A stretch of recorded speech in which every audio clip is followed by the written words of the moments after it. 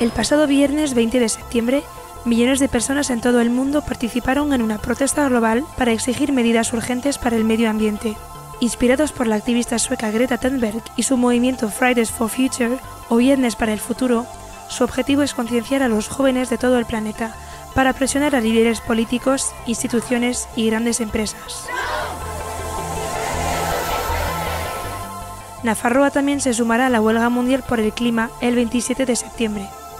Pero antes, organizaciones como Greenpeace o Alianza para el Clima plantean una serie de actividades del 20 al 27 de septiembre para darle mayor visibilidad pública a esta crisis. Hablamos con Iruña Erro, representante de Viernes para el Futuro de Nafarroa. El movimiento nació en Suecia en agosto del año pasado, o sea, acabamos de cumplir un año y a España llegó a principios de año, en enero más o menos. La verdad es que aquí hemos tenido una buena acogida. O sea, eh, en, sí en el movimiento como tal, organizando y así, tenemos gente desde 12 hasta 27 años, pero luego a las concentraciones y así nos apoya muchísima gente, pues eso, adultos, eh, estamos hablando también con pues, el grupo de pensionistas, o sea, estamos hablando con, con, todas las edades, porque al fin y al cabo es que es algo que afecta a todos, tanto por a nosotras porque va a ser nuestro futuro, como pues no sé, a mi abuela, porque es, nos deja, es el mundo que nos está dejando, a, sus nietas, vaya. Con eslóganes como El clima cambia, nosotros también, No hay planeta B o Más reciclar, menos edificar, los jóvenes militantes quieren llamar la atención en vísperas de la cumbre del clima de la ONU, que se celebra este lunes 23 de septiembre.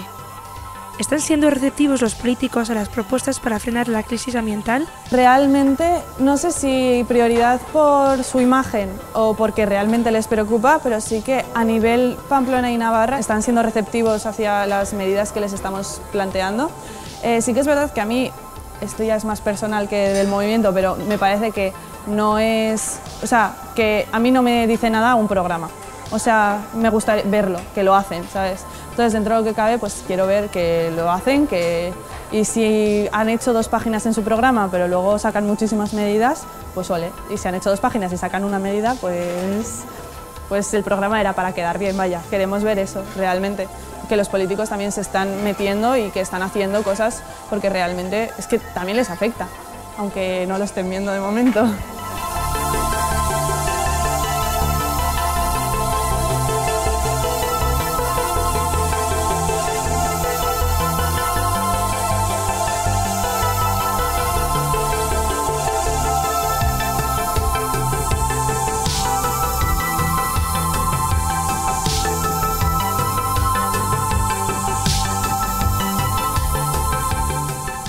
Cualquier incendio en cualquier parte del mundo nos afecta. O sea, y estamos en un punto en el que ya casi el mundo entero está incendiado. O sea, hace poco salía que Siberia estaba incendiándose, que también dices, pues Siberia, ¿sabes? O sea, que no podía, que es más difícil que se incendie. El Amazonas, que es de los sitios que más eh, oxígeno nos da, pues también es, o sea, fue un horror ver que estaba pasando lo que estaba pasando y que los políticos se quedaban de, brazos cruzados. Sí que es verdad que estamos, eh, nosotras estamos luchando porque esos, los políticos se muevan, pero realmente también depende de ellos.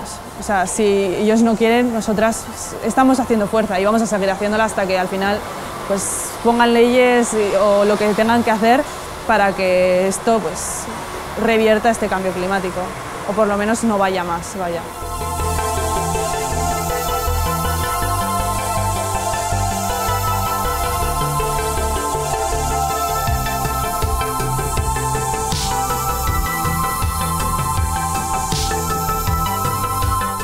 Esto es un problema, eh, cada persona tiene parte de la solución y que todo el mundo o sea, debería asistir, eh, ayudar y que es que todavía tenemos tiempo para salvar esta situación. Todo gira en torno al 27 de septiembre, que queremos que sea pues, la, huelga más grande que ha habido en el movimiento hasta el momento. El movimiento es abierto a todo el mundo, que animamos a todo el mundo a participar en él, a venir a las concentraciones o incluso a solo dar ideas por informarse sobre lo que está pasando y sobre lo que hacemos, que, que no se pierde el gran tiempo y te enteras un poco de todo.